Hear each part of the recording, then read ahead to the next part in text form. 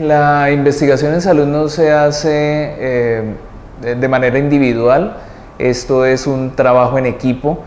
Yo soy el director del grupo de investigación en urología, UroGIF, que se ha ampliado un poquitico en, en, los tópicos de investigación, en las líneas de investigación, y no solamente investigamos en urología, sino que trabajamos en, todas las ciencias de la salud. Ese trabajo en equipo es el que nos ha llevado a publicar la cantidad de, manuscritos que tenemos en este, en este momento. Y allí mezclamos un poquito los elementos de investigación formativa e investigación científica.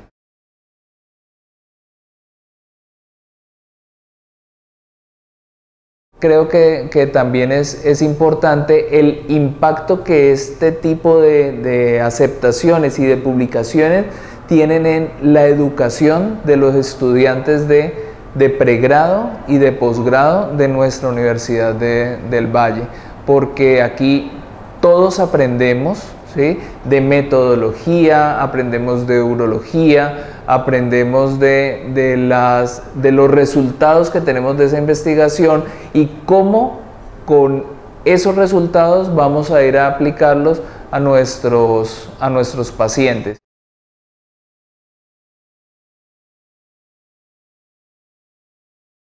Escribir es, es lo máximo, escribir, investigar, eh, es, es fantástico, a mí me encanta, me llena de alegría cuando cuando me siento a escribir y me da muchísima más alegría cuando, cuando, cuando sale un artículo publicado.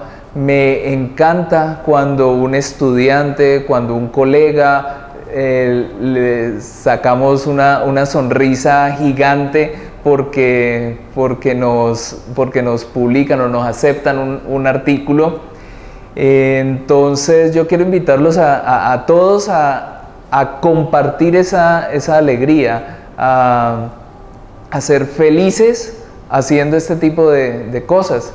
Eh, compartir un, un, café con algún colega, con algún amigo, discutir una idea de investigación eh, y crecer juntos, eso es creo que, que, que fundamental en este, en este tipo de procesos.